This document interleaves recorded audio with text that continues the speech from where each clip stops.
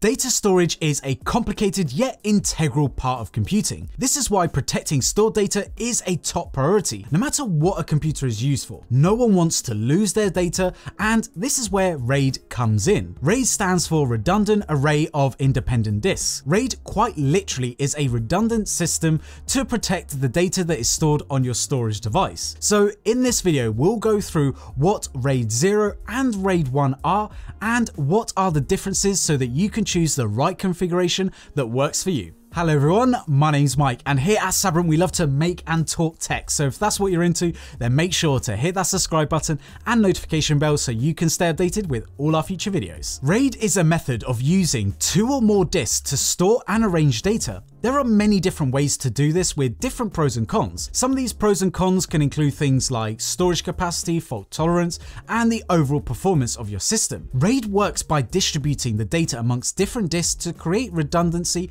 and to protect your data for the most part. Data can be distributed in different configurations, and these configurations are known as RAID levels. Each RAID level offers different levels of redundancy and performance, more redundancy can typically mean less performance and vice versa, but it gets a little bit more complicated than that obviously. So let's compare arguably the two most used RAID levels at a consumer level and that is RAID 0 and RAID 1. RAID 0 is the most basic type of RAID levels. Also known as striping, data is striped across at least two disks meaning that the data is divided between two or more disks. In RAID 0 you are basically combining multiple drives to one big drive with its capacity combined any file you store will be divided between the two or more disks, not on each disk. The data is basically cut into smaller files and then written across all of the physical disks connected to that RAID 0 configuration. This then increases the read and write performance as it's using two or more disks to receive the data.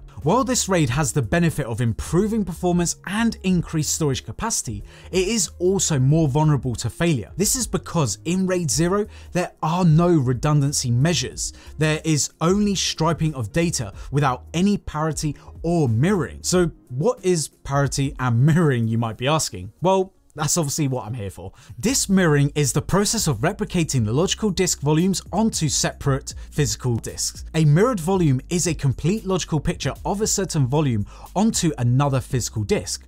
So in case the main physical disk is connected or crashes, the data is still available for use because a complete copy is available on another disk. Parity or parity bits is a relatively simple way of checking errors in code. A parity bit is a very simple and commonly used error detection code in storage. It basically involves adding a parity bit to data and then cross-checking the bit code of the original data with the data being checked. In certain RAID configurations, a disk or a set of disks contain parity information that allows them to rebuild data in the event of a drive failure. This brings us onto the second level of RAID, also known as RAID 1. In RAID 1, data is mirrored from your main disk to another disk, but no parity or striping is happening.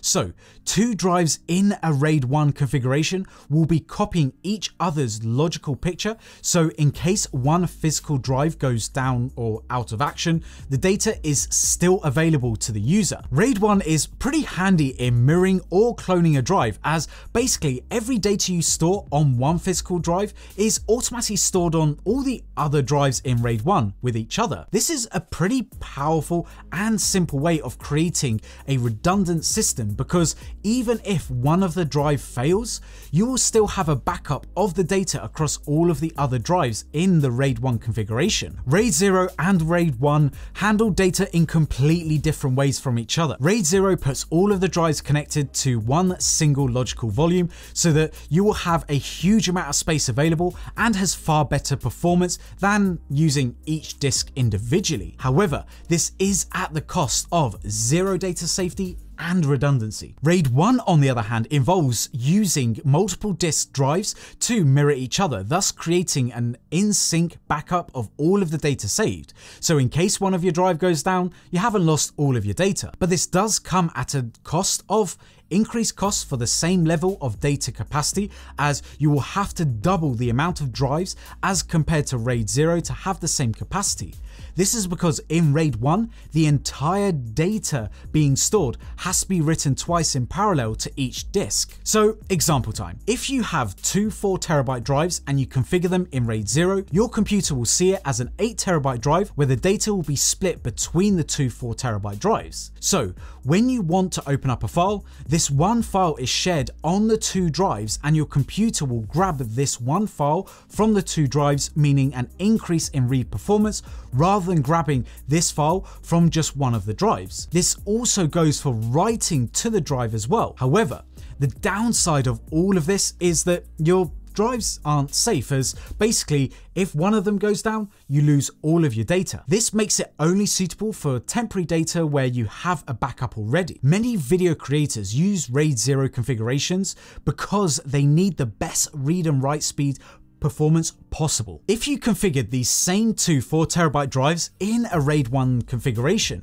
your computer will only see these two drives as a single 4TB drive, but the data is mirrored on both of those drives, meaning that if one of those 4TB disks go down, you will still have another disk where the data is exactly the same. Now, aside from having a smaller capacity, read and write performance also takes a hit as you have to copy the same file to both drives, so basically twice the work. Now RAID 1 can offer similar read performance as RAID 0 if the RAID controller in your docking station is using multiplexing to read data from the disk. So in this case, only write performance takes a hit. When we covered the Sabrent XTRM-Q 16TB Thunderbolt external SSD, which has two 8TB NVMe SSDs, which can be configured in RAID 0, RAID 1, or JBOD, here you can see the different real world performance differences between all of these RAID configurations. Pause the screen if you need to. Now there are other RAID levels other than RAID 0 and RAID 1. RAID levels 1 to 6 are normally the standard RAID levels,